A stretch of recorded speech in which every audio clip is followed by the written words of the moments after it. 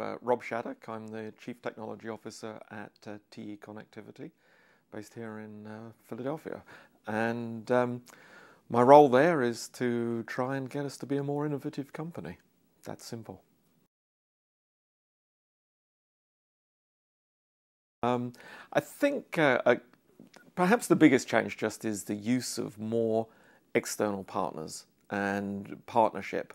Um, you know, when I started off in large industrial companies, everything was done with, with a research department and a lab. Um, then I spent a long time in startups where that was it. Uh, you were everything. Um, and now, you know, going back into the large world, I'm seeing the, you know, the lab, the centralized things start to disappear and greater use of the outside. That's really the biggest change.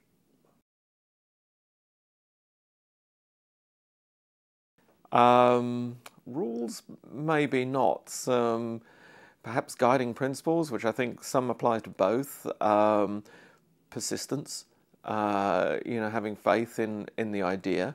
Um, and maybe in the large corporation, more about sometimes protecting good ideas because there can be a lot of corporate antibodies there that uh, sometimes you need to protect things from. Certainly had experience with that in the past. So, yeah, I'd just say it's. Um, persistence and, and having faith more than anything else.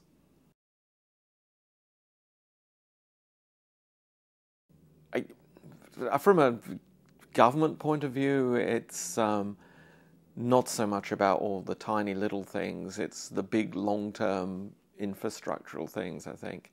Great education, and within the education system, encouraging curiosity. I think, you know, curiosity is a lot of the foundation of innovation. And if you have a workforce that's curious and interested and knowledgeable, you're likely to get a lot more innovation than if you don't. And then I think there's still a role for, you know, long-term big science, and industry just tends not to do that. But that will stimulate a lot of development, and out of that development, you can build more innovation.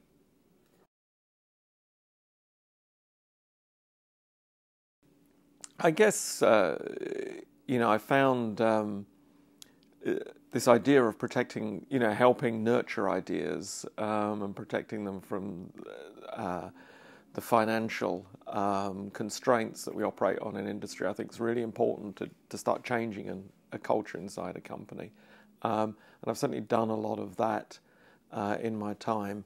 You know, help protect ideas and help nurture them, and I, I think that's something I'd encourage all managers, I always try and encourage managers to do that, allow some of their expenditure and energies to go on trying things and uh, nurturing ideas.